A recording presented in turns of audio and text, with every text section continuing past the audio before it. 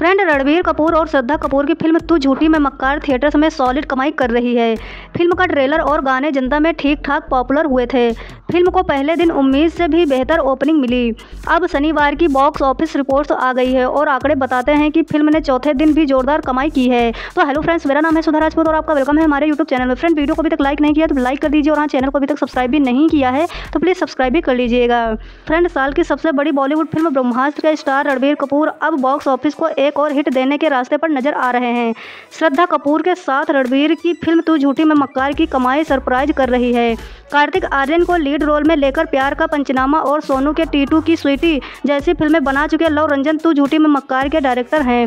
Box office के आंकड़े इशारा कर रहे हैं कि रंजन के खाते में जल्द ही एक और हिट फ़िल्म जुड़ने वाली है। फ्रेंड तू झूठी, में मक्कार के ट्रेलर गानों और प्रोमो को जनता से ठीक ठाक रिस्पांस मिला था। मगर इस बारे में कोई अंदाज़ा नहीं लगा पा रहा था कि फ़िल्म बॉक्स ऑफ़िस पर कैसा परफॉर्म करने वाली है।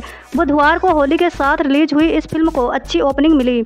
पहले ही दिन फ़िल्म ने बॉक्स ऑफ़िस पर पंद्रह पॉइंट तिहत्तर करोड़ रुपए का नेट कलेक्शन किया। अब शनिवार की बॉक्स ऑफ़िस रिपोर्ट्स आ गई है और तू झूठी, में मक्कार ने एक बार फिर से दमदार कमाई की है। बुधवार को सॉलिड ओपनिंग के साथ अगले दो दिन फ़िल्म की कमाई थोड़ी कम हुई। गुरुवार को रणवीर श्रद्धा की फ़िल्म ने दस पॉइंट चौंतीस करोड़ रुपए कमाए। तो फ्रेंड, शुक्रवार का कलेक्शन दस पॉइंट बावन करोड़ रहा। शनिवार की रिपोर्ट्स बता रही है कि चौथे दिन फ़िल्म ने सोलह पॉइंट सत्तावन करोड़ रुपए का कलेक्शन किया है।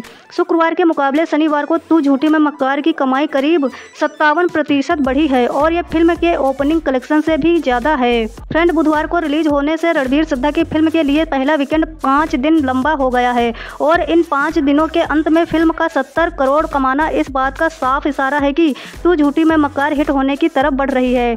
सौ करोड़ का बॉक्स ऑफ़िस आंकड़ा पार करते ही ये फ़िल्म हिट मानी जा सकती है। तो फ्रेंड, ये देखना दिलचस्प होगा कि अगले हफ़्ते आने वाली नई फ़िल्मों के सामने रणबीर की फ़िल्म किस तरह टिकती है। तो फ़िलहाल फ्रेंड, आपको क्या लगता है, क्या ये फ़िल्म जो है सौ करोड़ के आंकड़े को पार कर सकती है या नहीं? अपनी राय हमें कमेंट बॉक्स में ज़रूर बताइएगा और वीडियो को लाइक करके चैनल को सब्सक्राइब ज़रूर कीजिएगा।